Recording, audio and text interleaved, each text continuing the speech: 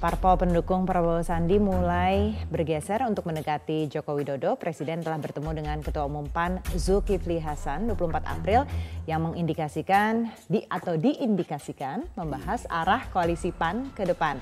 Jadi betul indikasinya memang mengarah ke Jokowi Maruf dukungan PAN? Ya, jadi yang penting ini kan komitmen kami di koalisi Prabowo Sandi adalah sampai pemilihan presiden. Nah, secara resmi pemilihan presiden ini belum sepenuhnya selesai karena masih ada proses penghitungan suara resmi uh, di KPU. Ya. Nanti kan KPU akan mengumumkan hasilnya. Hmm. Hasil real and final count tanggal 22 Mei. Dan setelah itu kami akan tentukan langkah selanjutnya untuk PAN ya untuk lima tahun ke depan. Positioning apa yang terbaik bagi PAN ya sesuai dengan kapasitas PAN, kemampuan PAN, sesuai dengan uh, bagaimana cara kita berkontribusi bagi bangsa ini.